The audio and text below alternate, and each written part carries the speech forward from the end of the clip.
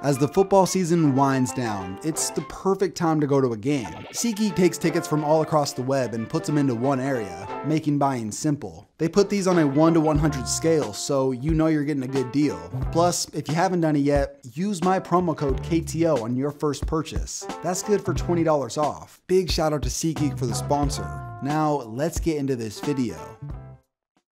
In 1970, tragedy struck when a plane carrying Marshall University's football team crashed into a hillside. It was just two miles from the Tri State Airport in West Virginia. It killed 37 Marshall football players, a coach, the university's AD, and 25 team boosters. Following the crash, the NCAA couldn't do much to try and help. All they could do was give special permission to let freshmen play on the varsity team. Marshall had to scrap together a team of walk ons, players who weren't on the flight, and those freshmen. For the next decade, they didn't experience a single winning season. You don't plan on disaster, but we need to be ready for anything.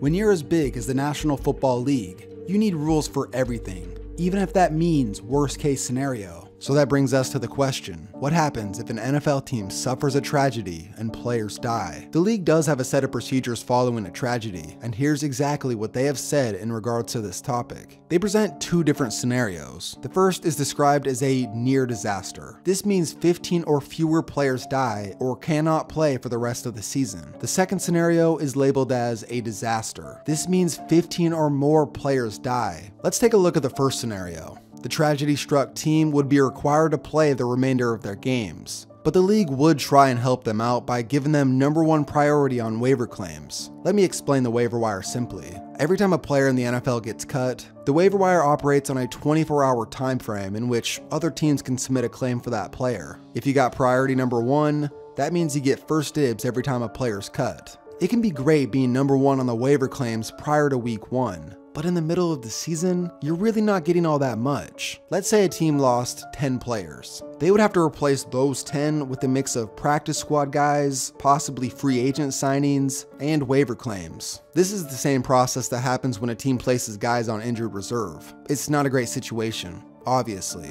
But now, let's look at the worst scenario the disaster. If a team loses 15 or more players in a tragedy, the commissioner decides whether or not the team will continue their season. If he decides to let them keep playing, then the near disaster plan is put into place. But if the commissioner decides to end their season, a restocking draft would occur, and the team would automatically get the number one pick in the next year's NFL draft. Also, if one of the team's quarterbacks die, they are allowed to draft another team's third quarterback. If an entire NFL team died, it's pretty much a certainty that the team's season will be canceled. For the restocking draft, other teams would be able to protect 32 of their 53 players, and only 2 of 3 quarterbacks. Because this is a huge range of just mostly backups, I will show the possible quarterbacks that could be on this list. Long story short, it would be a very tough situation, obviously. Even though there's really no way of knowing how this sort of tragedy would play out, an expansion draft in the past is somewhat comparable to what happens in a restocking draft, but there is some key differences. Instead of protecting 32 of a team's 53 man roster, each team would list 5 unprotected players for the new team to choose from. This is usually a mix of guys with bad contracts and just some of the lesser players on their team. In 2002, the Houston Texans became the 32nd franchise in the NFL. Just two months prior to the NFL draft that season, the league held the expansion draft for the newly found Texans. I'm going to show some clips from the actual 2002 expansion draft, and as you can see, the rules were that Houston could claim 30 to 42 players from this draft, or 38% of their salary cap in 2002, which was just over $27 million.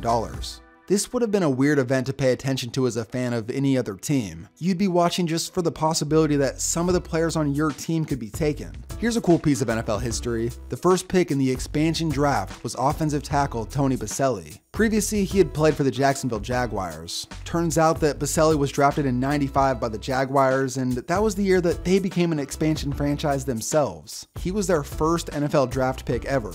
Oh yeah, by the way, he never played for Houston. He would get hurt and he would retire following the season. We actually saw three expansion franchises added in only seven years. The Texans in 02, the Browns in 99, and the Jaguars in 95. Before Jacksonville, it had been 20 years since the last expansion team was added. So that brings us to this question. Will the NFL add another expansion franchise? I found an ESPN article discussing the possibility of a team in London or Mexico City.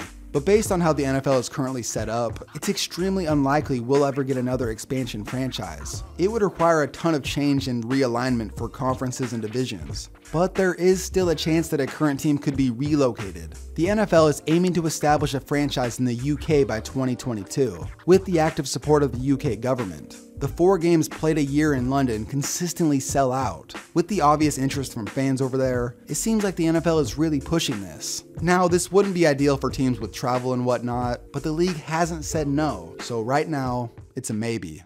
So, as many of you know, I'm a Browns fan, and I found something fascinating. Of all the misery and embarrassment the Browns have shown us for nearly 20 years, this is how they got their first ever win as an expansion franchise. Couch. Long high ball. Lots of guys going for it. Fighting the end zone. It's caught by the Browns. The Cleveland Browns have won the game on a 56 yard